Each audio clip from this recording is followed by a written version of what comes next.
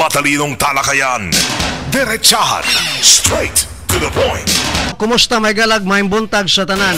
Ako gyapon ay kasamang June Duterte uban ang itero Team RMN Davao. RMN Headline. Ina na sa gibugha may gala sa riding in uh, tandem. Tricycle driver may gala na witness pagid mismo sa pasahero sa tricycle driver.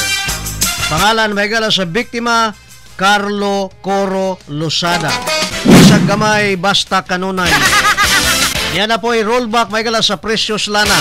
Mayor Duterte said, mawagid niya kung gi-expectar ang uh, double lead niya sa Social Weather Station Survey. Gani nagpasalamat siya sa tanang katauhan for the double digit lead. Nag-mention to si uh, Chairman Andy Bautista kagahapon nga doon na kuno'y balaod nagtugot sa Comelec nga ilang i-postpone ang eleksyon. Matupas pala kanyang kagahapon eleksyon dapat gyud siya nga mahinayon. 125 may galang bidagan pagka-presidente, 100 nakabok ang deklarado nuisance candidate. deklara ni US President Barack Obama ang kampanya sa kalibutan kontra sa Islamic State of Iraq and Syria og ang gira or war on terrorism. May ganun sa unahan, isgutan nato karon surveys pa more.